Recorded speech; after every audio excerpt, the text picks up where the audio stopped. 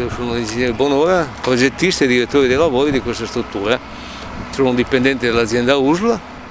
e stiamo seguendo i lavori di questa struttura che sono la realizzazione di 48 posti di degenza più sala operatoria che verranno successivamente e una serie di impianti a corredo la, per far funzionare tutta la struttura. Adesso stiamo tirando su la struttura che è una struttura in prefabbricato come potete vedere.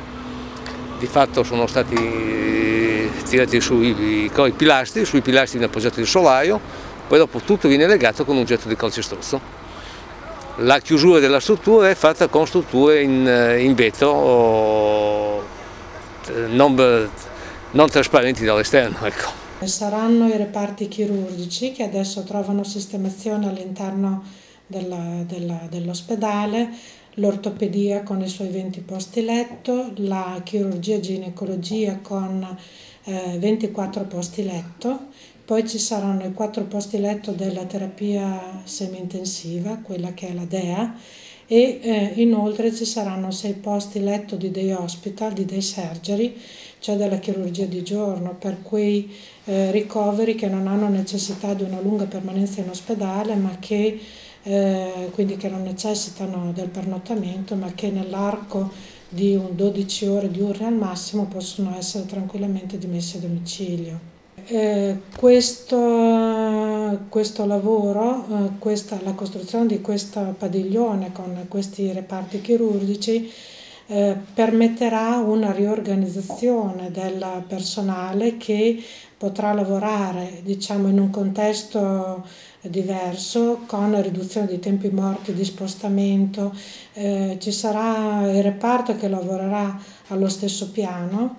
Quindi ci sarà una omogeneità nella, nella, gestione dei pazienti, questo comporterà sicuramente un'ottimizzazione delle risorse eh, di personale presente. Vediamo per il futuro come è possibile eventualmente in, in forza di, eh, diciamo, di eventuali ulteriori attività come pensare anche ad eventuali potenziamenti. Eh, l'impegno eh, che c'è da parte dell'azienda è notevole, l'investimento è stato importante eh, l'azienda USL mh, mm, ha eh, il progetto di ristrutturare tutta la sua rete ospedaliera, quindi già abbiamo visto per l'ospedale di Cento, per l'ospedale di Comacchio, l'ospedale di Argente ha già visto un'importante ristrutturazione nel poliambulatorio di Via Bertoldi, dove un anno fa eh, è stata aperta appunto l'attività ambulatoriale. Adesso si procede con la ristrutturazione di tutti i reparti chirurgici e con le nuove sale operatorie, questo per